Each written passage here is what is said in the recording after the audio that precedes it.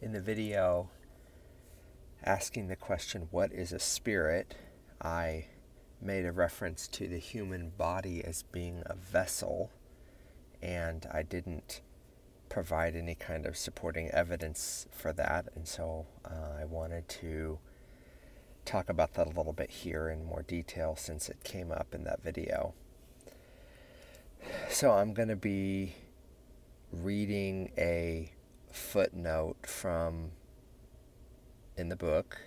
Uh, the book is linked to in the description as well as the original video. I'm going to be reading a footnote from First Chronicles chapter 12 verse 18. And this, I'm not going to give a page number because the pages are changing. Um, it'd probably be in the 600s or somewhere like that. But um, this is in this uh, section with inferred references to the Holy Spirit, and so it's this it's the chapter where all of the verses are color coded yellow because they mention the word Spirit, but they don't explicitly mention the word Holy Spirit, right? Um, and so this um, this verse. Then the Spirit came upon Amasai, who was chief of the captains, and he said, Thine are we, David, and on thy side, thou son of Jesse, peace, peace be upon thee, and peace be upon thine helpers, for thy God helpeth thee. Then David received them and made them captains of the band. And so this this word here, the Spirit came upon, is interesting. I mean, in the English, honestly, it's pretty humdrum, but in the original Hebrew language that this uh, book was written in, the little Hebrew reads, The Spirit clothed himself with Amasai. And so if you can think of Amasai as like a like an overcoat, just kind of sitting there, and then the Spirit is like, and then now Amasai becomes his clothing. And so of course the, the implication here is is that Amasai is a container, he's a flesh bag. he's an organic vessel that can be used by a spirit, in this case, of course, the Holy Spirit, to accomplish his purposes. Um, so then I have here there is a distinct picture in the scriptures of the human body being a vessel, and then I have Second Corinthians chapter 4, verses 6 through 7. For God, who commanded the light to shine out of the darkness, hath shined in our hearts to give us the light of the knowledge of the glory of God in the face of Jesus Christ. But we have this treasure in earthen vessels, that the excellency of the power may be of God and not of us. There is a term in the Old Testament, ob, translated as familiar spirit and so this is one of the instances where you would do an English word search for spirit and familiar spirit would come up, except it's not using the word ruach, it's using a different word that refers to a different thing. A familiar spirit is an unclean spirit. Jesus, it is under the dominion of Satan. And it is, um, I think it's pretty similar to the spirit of divination that is talked about in Acts whenever um, Paul confronts the, the servant girl with the spirit of divination uh, it is a spirit that enables fortune telling and soothsaying, basically predictions of the future. And so, if you think about a spirit, um, uh, largely the spiritual realm is invisible to us, but it is not invisible to other spirits. And so, those spirits see us and they take in what we're doing, but they also see what's going on around them. And based upon that vastly increased amount of information and probably superior kind of information that they have compared to us, they're able to say, oh, this thing is going to happen and that thing's going to happen. That does that mean that they're always right?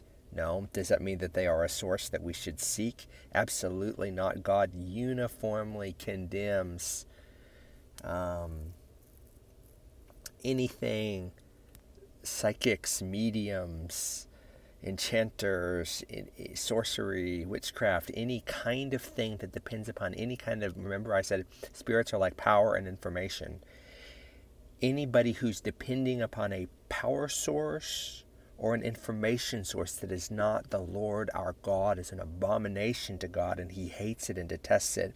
And it's one of the reasons, honestly, why like the whole Harry Potter thing is so very disturbing because it's just like it's it's it's taking a thing that God hates and God says that he's going to remove from the face of the earth and it's glorifying it and it's normalizing it and it's desensitizing it and it makes it seem like it's kind of hip and cool.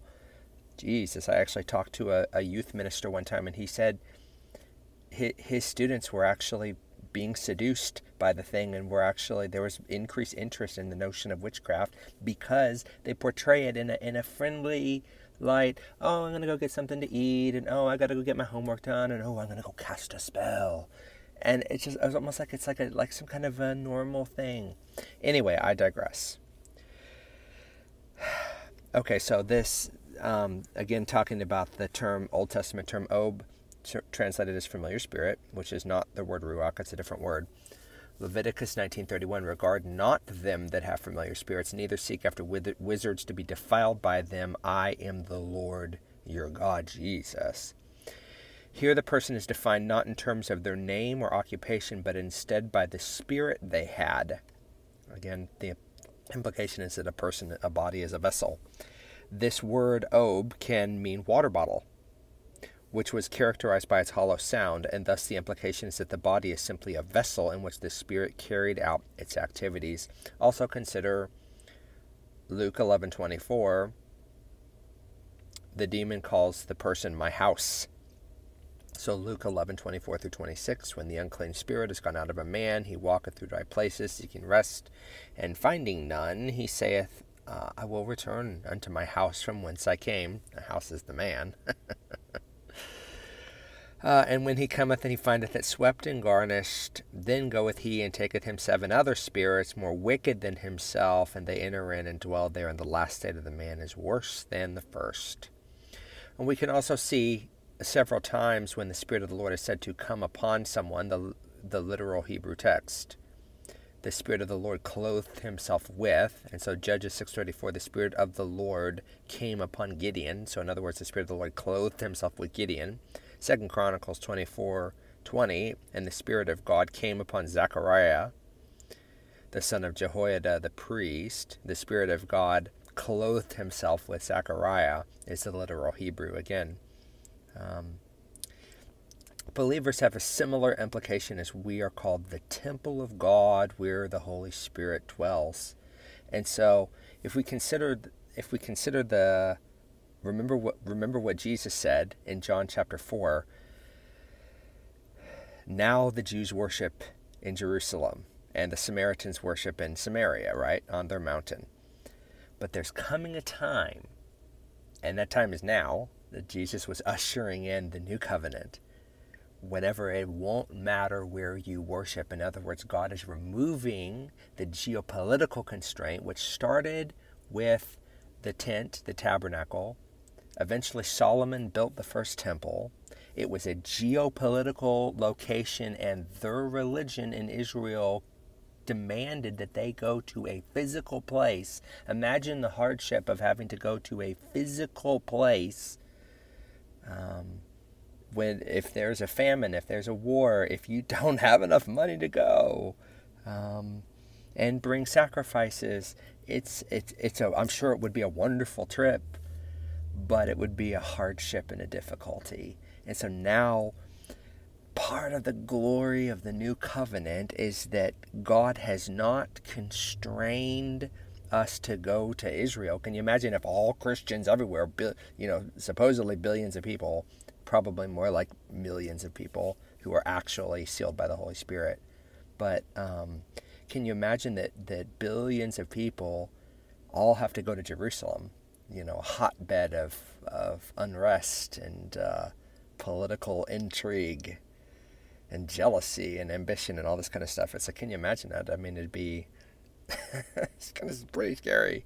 Pretty scary. Okay, so now I'm making a reference to, uh, again, not going to give an exact page, but in the just after page 1000 somewhere.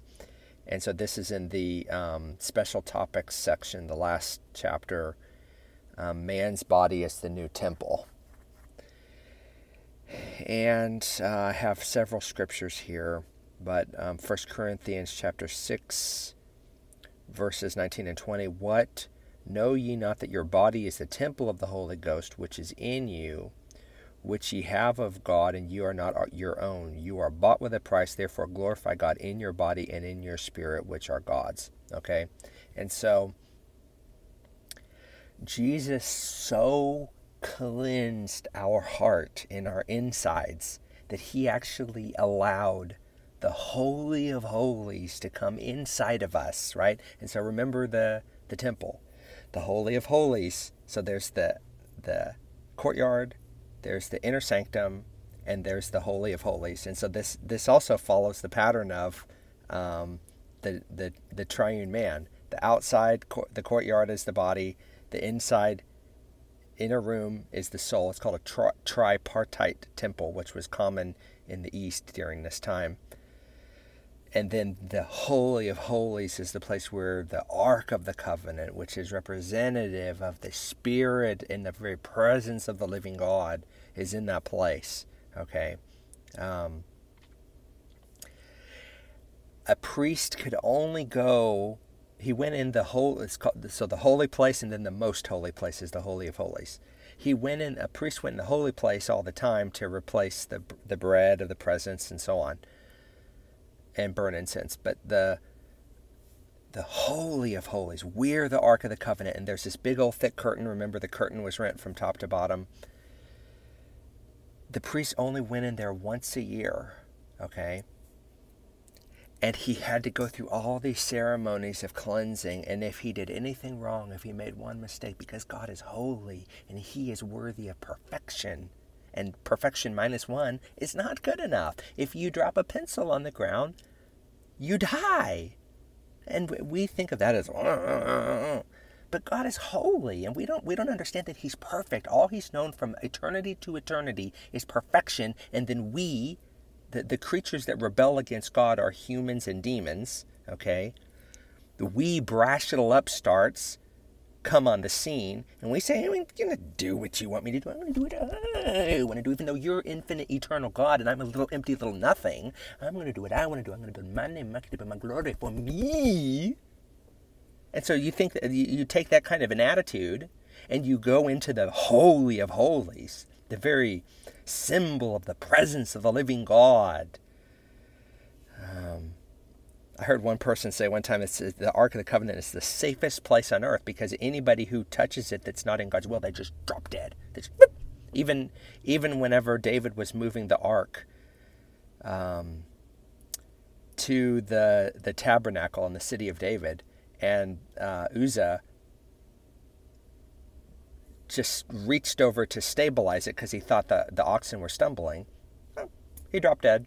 I mean, it seems it seems like it's an innocent thing, but God is holy and He demands perfection. And if you make one error, if you make one error, you're guilty forever, and there's nothing you can do about it. You see what I'm saying? It's like th- this standard of holiness, the priest could only go in the Holy of Holies once a year, and if he made a mistake, he'd drop dead. And so, I don't know this, it doesn't say it in the Bible, but they probably tied a rope around his ankle so that if he did drop dead, which was a real possibility, then they could drag him out because crap, if he di- died and then you're going in there to touch a touch a carcass which made you unclean, you would drop dead too. And so can you imagine like the bodies piling up, right? And so they they probably tied a a rope around his, his foot so that they could pull him out if he died. But then again, you know, that so God didn't tell them to do that, and so that's an interesting question. You know, does that violate God's law? And so would that cause them to die? I don't know. It's speculation. It's complete speculation. It's not in the Bible. Um, my point is this: the blood of Jesus and Christ on the cross so took our sins and so washed us and cleansed us on our insides that our insides are that holy of holies. That's not in some geopolitical location anymore in a geographical location in a building. Our body is, we are the building of God. We are the temple of God. Let's read another verse. There, I mean, there's so there's many verses here. Um, Ephesians 2 19 through 22. Now, therefore, ye are no more strangers and foreigners, but fellow citizens with the saints and of the household of God, and are built upon the foundation of the apostles and prophets, Jesus Christ himself being the chief cornerstone, in whom all the building fitly framed together groweth into a holy temple in the Lord, in whom you are also builded together for an habitation of God through the Spirit. 1 Peter 2 5. Ye also as lively stones are built up a spiritual house, a holy priesthood, to offer up spiritual sacrifices acceptable to God by Jesus Christ. And so, all of this to say, the body is a vessel. The body is supposed to be a temple. The body is a is a place where spirits dwell. Obviously, the most common spirit that dwells in any person's body is their own spirit, right? But as we see throughout Scripture, demons take a hold of bodies whenever they're able to do it. Um, the Holy Spirit is jealous for us, as James says, and desires and yearns for us and desires to to indwell our body. Of course, he's sovereign, right? And so he, he decides who he indwells and who he doesn't indwell um, because he's God, right? And so he can do what he wants to. Uh, there's nothing that any human's going to do, no mere decision that a human's going to make that's going to stop him from accomplishing his purpose. Um, but the human, the human body is a, a vessel, and so if you if you think about the body in that way, a vessel a vessel can hold all kinds of things, right? I mean, obviously it has a capacity it only has has so much capacity, but up to the capacity it can hold all different kinds of stuff. And so you can put very different kinds of things in a vessel, right? And again, this goes back to the reference of John chapter one. The the word existed before everything was created, and so the the vessel, the idea of a vessel, and then you just putting stuff in a vessel. God created vessels to teach us a spiritual lesson and of course the lesson is grounded in a, in a, in a biblical evidence and i'm not just making it up. God created kleenex to and i make up something like we're we're coming from a biblical basis here right? Which is why i can i believe that i can safely make the claim. And so uh, we, we, we see in the property of vessels that you can put all kinds of things in a vessel right some some vessels are to honor, some vessels are to dishonor, right? And so you could put water and then you could put so water in half of the vessel and then the other half of the vessel sewage. Jesus. You could put um, the human spirit. I mean, just to give a very simple example, the human spirit in one third of the vessel, the Holy Spirit in one third of the vessel, Jesus has said that he was given the Spirit without measure, right? Which implies that the Holy Spirit can be given with measure. I don't think people like that. People seem to generally like to argue, oh, if you have the Holy Spirit, then you have the Holy Spirit. It is done forever, and we will never discuss it again. Well, I mean, that, that's just you, that's just you imposing your little idea that you made up on Scripture. God can do whatever He wants. He can issue any regulation in the spiritual realm that He wants to, and so um, a person can can have just, a, just the lightest touch of the Holy Spirit, or a person can have the full on knock you knock you off your feet kind of thing. Like God doesn't doesn't have to do things according to the way you think that He should do them, right? And so, um, Satan in the Book of Job comes into the presence of God even though the Bible says that God cannot look on evil. And so it's just it's it's a very interesting thing that you'd think it's almost like matter and antimatter, like somehow it'd blow up. Now Satan is not the opposite of God. That's a bad example because antimatter is the opposite of matter. But the devil is not the opposite of God because God's infinite and eternal, and the devil's an ant. He's a handmaiden. He's a little. He's a little. Mm, mm, mm, like he's a little nothing. And so that was a bad example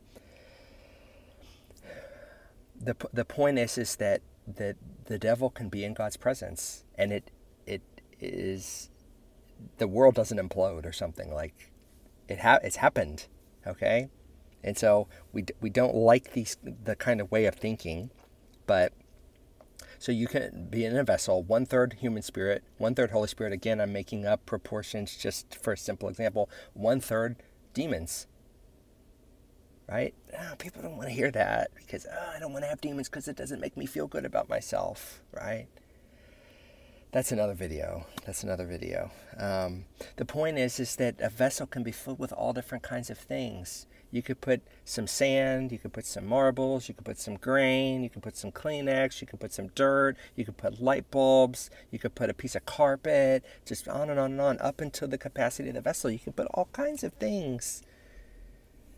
Uh, all kinds of things in a vessel. The idea that you can only put one thing in a vessel and nothing else can be in that vessel, it's not, it's not, it's just not, I mean, if, if, if you have a vessel where only one thing fits in it, then that's not a normal vessel, right? So, the point is uh, that I made a reference to the human body being a vessel in this the video. What is a spirit? And so here we talked about um, what the Bible has to say about the human body being a vessel.